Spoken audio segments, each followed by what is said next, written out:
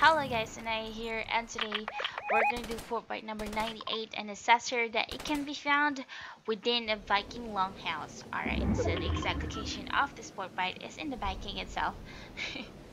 but if you're new to my channel guys, please do subscribe in my YouTube channel. I'm, the, I'm doing daily videos about Fortbyte challenges and weekly challenges in Fortnite. So please do subscribe in my YouTube channel.